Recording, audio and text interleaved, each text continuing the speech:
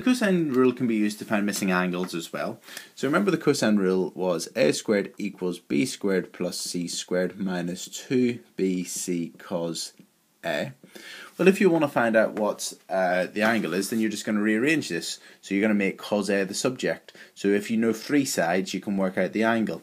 So you just rearrange it. So bring that over, bring it over. So you're going to get, if you bring the minus 2bc cos A to the other side and bring the A over to that side, you're going to get 2bc cos A equals b squared plus c squared minus a squared.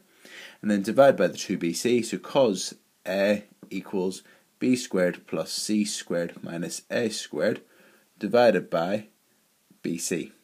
2bc. um, so you can just substitute the numbers into that and then do shift cos of the answer. Alternatively, um, sometimes I just put substitute the numbers into the normal cosine rule and then just rearrange it with the numbers involved, you know, rather than having to remember two formula. So what I'm going to do is I'm going to do one example by substituting the numbers into the rearranged formula and one way by substituting the numbers into the normal cosine rule formula and just rearranging that, okay? So that's probably what I would do on most occasions. So uh, let's put this into the normal cosine rule formula. So the cosine rule formula is a squared equals b squared plus c squared minus 2bc cos a. So let's substitute the numbers in, okay? So um, let's call well this is going to have to be big at the angle so then that's little a just that's important and then b and c doesn't matter which way around you call those okay? So let's then substitute those in. So a squared is your 5.4 squared equals b squared which is 6.1 squared plus c squared which is 5.8 squared minus 2 times 6.1 times 5.8 cos of the angle A, if that's what we're trying to find out, cos x, I suppose. Um, so let's just work out this. So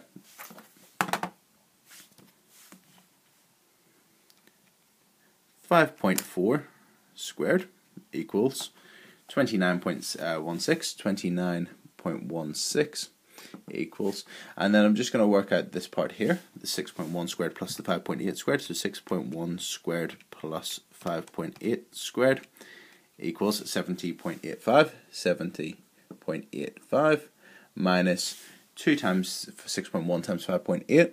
So 2 times 5.8 times 6.1, I've typed those in the wrong way around, doesn't matter, is 70.76. Um,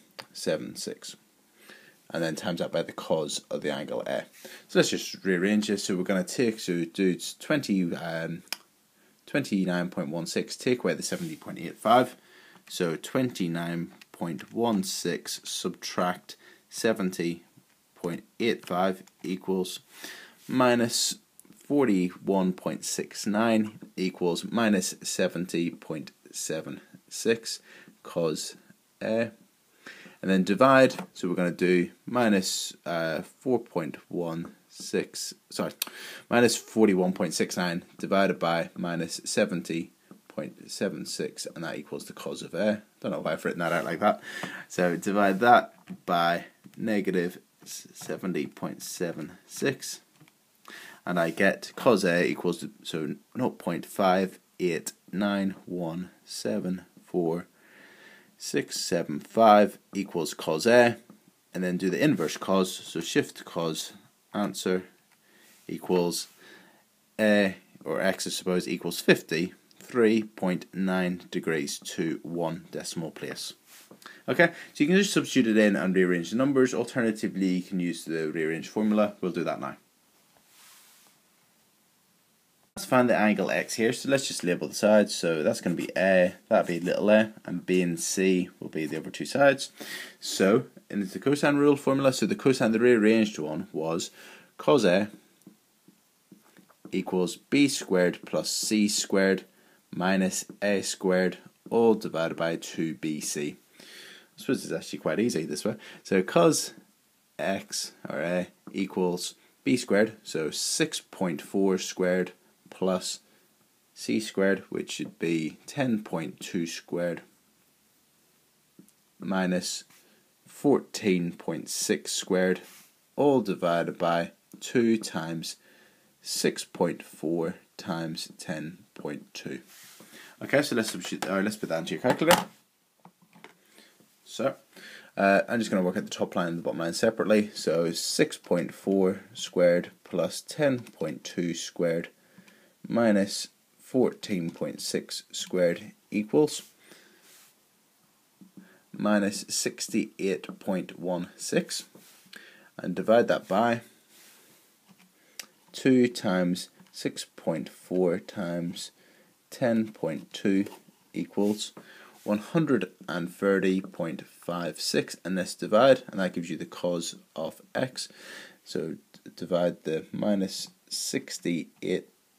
68.16 by answer. So minus 0.5228058882 Now obviously this is a negative, that's because this is an obtuse angle, okay? Because it's an obtuse angle, remember looking at the cos graph, if you know what the cos graph looks like, the cos graph starts at uh, 1, goes down to 0 at 90 degrees, and then between 90 and minus, uh, between 90 and 180, it's between 0 and, well, 0 is 90, and minus 1, so it becomes negative there. Okay, anyway, so shift cos, shift cos of the answer equals 121.4722 degrees to two decimal places.